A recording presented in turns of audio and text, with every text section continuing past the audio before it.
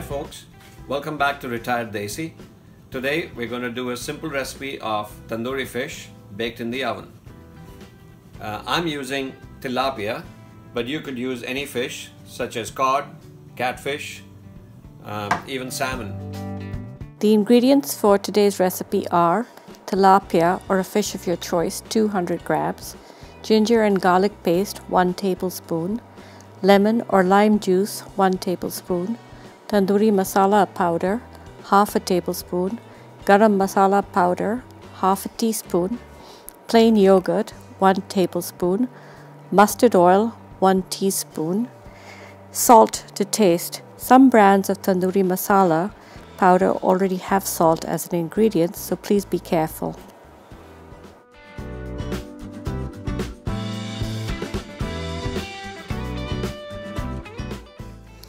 To make the ginger and garlic paste at home, take equal quantities of peeled ginger and garlic. Cut the ginger into pieces, then place the ginger and garlic in a blender. We are using chopped garlic today because that is what we have at home. Blend the ginger and the garlic until it becomes a fine paste.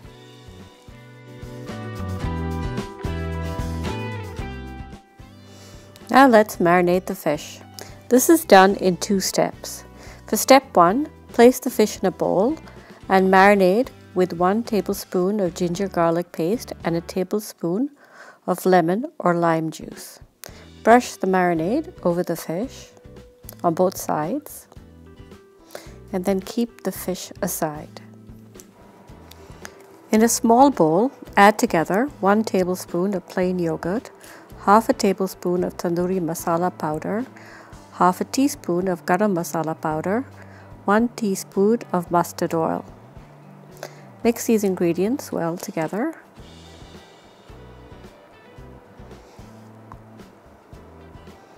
And brush the marinade generously on both sides of the fish.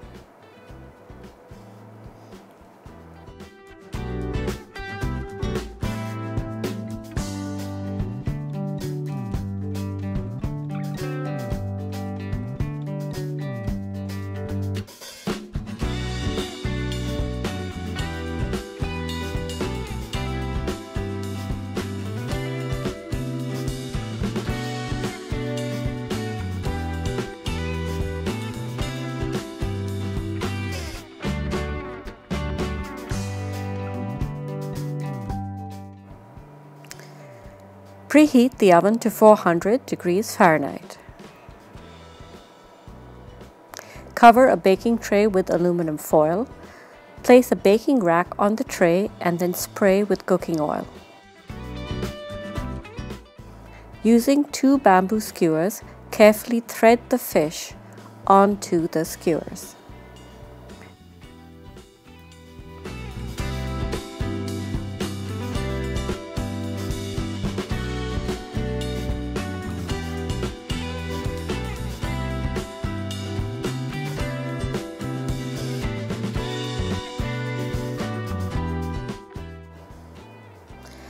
Arrange the fish carefully on the baking tray with the ends of the skewers resting on the sides of the tray.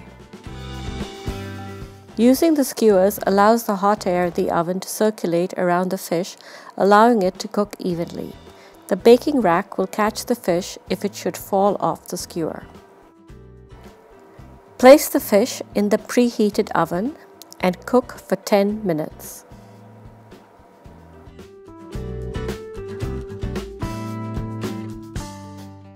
After the 10 minutes is over, set the oven to broil and continue to cook the fish for an additional 5 minutes.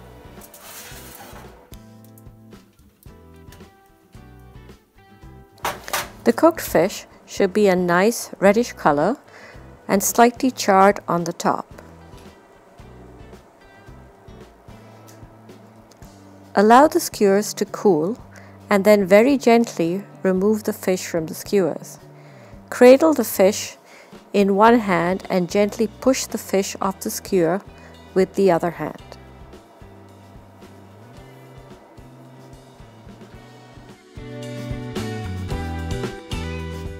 Serve the fish hot with green chutney and onion rings. This is a simple and easy way to make delicious tandoori fish in your oven at home. We hope you found the recipe interesting. Please let us know in the comments section below if you have tried the recipe and how the fish turned out. Please take a moment to give this video a big thumbs up and share it with family and friends. If you are interested in trying more of Sanjeev's recipes, please hit the subscribe button and the notification bell to be notified each time we load a new video. Thank you so much for dropping by. Till next time.